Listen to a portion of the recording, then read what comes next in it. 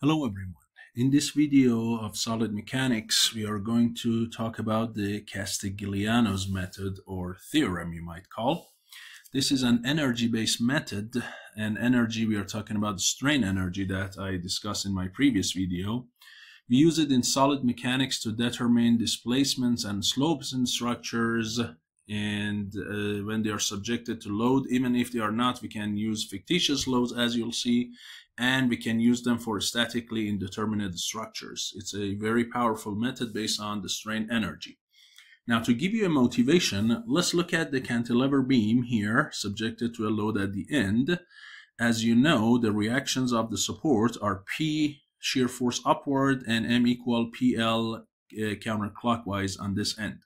And if I cut it at location X from the left side, v of x is going to be constant p, m of x is going to be pl minus px, correct?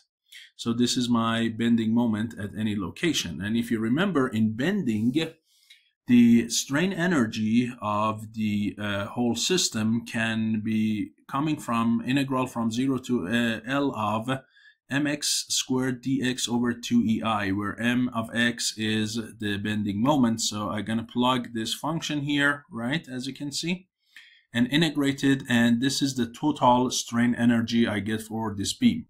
Now, if somebody says how much the endpoint here is going to come down. So if somebody says how much is this deflection here, delta, you know, if we look at my previous videos, we have to basically solve differential equations. Say this m is basically ei times nu double prime, and then integrate it plug in boundary conditions, find the function, and then plug in L at the end. And if you remember, this was, if you watch my previous videos, this was PL cubed over 3EI. Okay, so we can solve that differential equation and find it. Now here with this method, I don't even need to go that far. All I need to do is to find the derivative of this strain energy with respect to the force P. Why force P? because P is the force causing this deflection and it's right under P. So if I wanted deflection here, it would not give me derivative of U with respect to P would not give me that deflection because this is not right under P. But this delta is for the same point that the P is applied. So Castigliano showed that if I call this point A, the partial of the uh, strain energy with respect to the force P is going to be deflection at that point. So if you take derivative from this, that becomes a linear term and 2 at 6 simplifies to 3 and you get the exact same thing. So you see, easily I could find the deflection here at the end of the beam with a simple derivative without solving a second order ODE. If I had the strain energy, which I could only get by an integration. So this is a faster method. And in general, Castigliano has two theorems. The first theorem is what I just discussed with you. It says that the deflection under load Pi can be found by taking derivative of the total strain energy of the system with respect to that Pi, okay? And uh, seems like I need to do some modification here because these are actually not uh, full derivatives. These are partial derivatives okay? So we have to be careful about our notation. The same thing goes here. Now not only you can use this for forces and uh, linear displacement you can use it for moments and angular displacement or as we call it slopes okay so the slope due to some moment can also be found by taking the partial of the strain energy with respect to that particular moment. Okay, so here let's look at the first example. Here we have the cantilever beam again, and at the end not only I have force P, I have also the concentrated couple M naught and I want to find not only I want to find how much this point is going to go down, I want to find this delta, I also want to find the slope at the end. So if this slope at the end, this angle is theta, theta A, and this one is delta A, I want to find both of these in this case. So in this case, I need to again find m of x and plug it into the uh, strain energy formula to find it. So I need to find the reactions like last time. And clearly, if I have a P there, I should have a P up there. And I have a bending moment. Now, if you take sum of the moment about B, this M here is going to be not only PL, but also plus M naught, correct? That is the bending moment uh, of the support reaction to cancel those two. Good. Now, if I go ahead and cut it at distance x and look at one side of it, so on this side, I have this PL plus M naught, and I have this P. And if I look at the shear force, and the bending moment, clearly the shear force V has to be equal to negative P. And if the bending moment is this way, M, clearly M is going to be this one, and then minus P times X. So it is going to be PL plus M naught minus P times X. If you factor out P, you are going to get this one. So that is your bending moment and I plug it, I integrate it and I'm gonna get three terms here.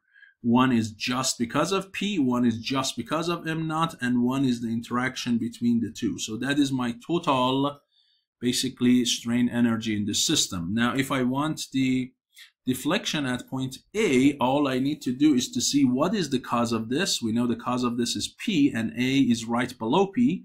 So all I need is to take partial of u with respect to p. And if you look, there are two terms here that have that derivative.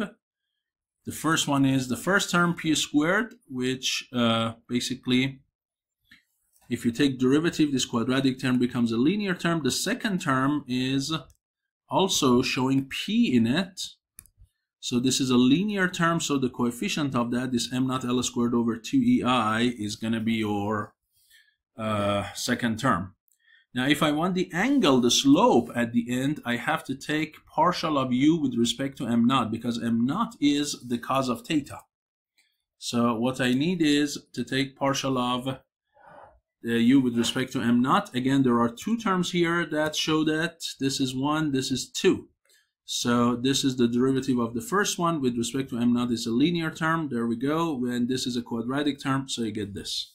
There we go. Just found both of them without going and integrating this and then uh, finding the um, theta, which is the v prime, and then finding them at L and so on.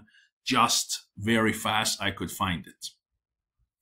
But to motivate you further, we're going to look at um, some other cases because you might say, well, this is really great and so on, but it is really limited to the case that you want to find the displacement or angle right under the load, right? So here I can find the displacement right under the load P by this formula. What if I want the displacement at point C? At C, there is no force, so what should I do? Can I take derivative with respect to something? The answer is yes. If a displacement of any point other than the point right under the load is required, then you're going to add a fictitious, an artificial load over there, okay? So you say, well, I assume there is some force here, call it Q or anything else, and I include that Q also into my strain energy calculations, then I take partial of u with respect to that q. That is going to be delta of point C.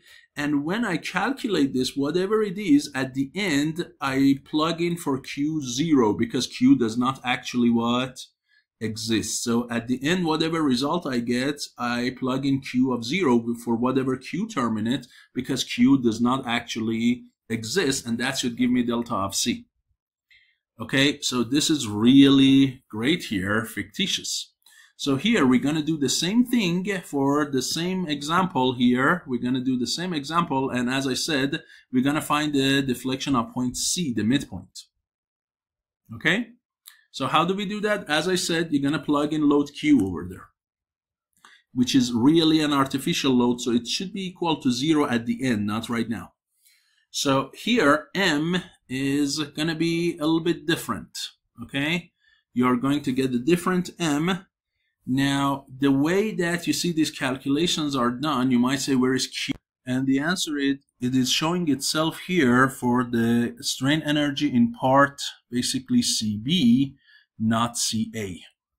Because if you cut here at CA, right, and you look at the right side of the um, uh, section, then you don't need Q, right? So this is your P, this is your M naught, and here, whatever M that you get clearly does not depend on Q. But on this side, if you look at the right side, you will have it. And the X that you see here, this solution is coming directly from the book. The X, the way the X was done in the book, it was taken from this side, not from the left side. So don't be surprised if we want to go and consider X from this side, it is fine. We're going to find different things, but clearly when you uh, calculate and simplify the two, the energy in the two sections and add them together. And the reason you are doing two sections is because your M has two different functions for the left side and the right because we are passing a concentrated load, your M changes when you pass from this load Q. So on one side of it is this, on the other side of it is that. If you integrate them and add them together, okay, you're going to get lots of terms. And if you simplify, this is your total simplified term. If you look at it, it is some huge thing. There is effect of P only, there is effect of P and M naught, there is effect of P and Q, M naught alone, Q alone, and then M naught and Q. Okay, so there are six terms here that you will have in general. Now, if I want displacement at point C, I take partial of this total energy with respect to the load at Q. So if you do Q, only the Q terms will appear, which is this guy, this one, and this one. You take derivatives of them, that's a linear term. This is a linear term again. This is a quadratic term, so you get a line. So this is your total uh, partial derivative with respect to q. But as I said, at the end, since q was not there, wherever you see q in this formula, you're going to cross it out because it's zero, and then you only get the first two terms. So this is your deflection at point C as a result of P and M naught because Q was not there in the first place. There we go. We found it. Okay. Beautiful, right? Clearly, if you wanted to do it with the M, you could do it, but this is a little bit faster as long as you do your integrations. Uh, because M you have to find anyways. These M's you have to find. Whether you go with the method of deflection I showed you, with this uh, basically with this equation, whether you go with that or with this method, you have to find m of x anyways. So this method is easier. You just integrate them and then you take partial derivatives. Okay? Now, this so far was some motivation. Let me give you another motivation, which is the second theorem of Castigliano for finding the redundant forces in statically indeterminate systems. It says under the uh, statically under the forces that are redundant if here let's look at this example here. This is a cantilever beam with an extra support at point B right? Under port under uh, B you have RB and this RB is a redundant force. I don't need it but that redundant force does not allow this point to move up and down. So if I want to know how much this point goes up and down, the answer is zero, correct? So if I call this point point B, delta of point B should be equal to zero. But how much is it? That's the partial of U with respect to what? With respect to RB. In this case, RI is RB. So if I find u and take partial of that with respect to RB, that's displacement of B, that should be equal to zero. This is an extra equation that can help me find the reactions all in this system. Okay? Yes? So here we are going to use the second theorem of Castigliano, which is amazing for finding the extra equation for statically indeterminate systems. So what do we do here? Let's put the reactions on. So the reactions we have is RB here and then RA there and then sum moments, right? Like this, MA. Now, clearly, if you write your equations, you see that RA plus RB equals P and also, if you take some of the moments about A, you'll see that MA, and then basically plus RB times L over 2, and minus P times L equals 0. Okay? And this force is exactly in the middle. So you see you have three unknowns, RA, RB, and MA, and only two equations. So that's not enough to solve. You need an extra equation, which should come from here. So what you do is, again, like last time, you find the m function in both of the regions. So here is m in part 1 and part 2. And again, here in this uh, solution that you see, if you look at it, for between a and b, it found the m as r of a times x and in region 2 is r of a times x minus r of b times x minus l over 2. Okay, and if you want, you can do it yourself. You can simplify. So we found the m's in this region and in this region. And then when we integrate both of them, and one from 0 to L over 2, one from L over 2 to L, and add them together, this is going to be your entire strain energy which has RA in it, which has RB in it, and the product term, right? And you might say, where is that MA? Why the MA is not showing up? Because MA can be actually written in terms of the other terms here, right? Correct? Look at here. Your MA can be written in terms of the other terms, actually.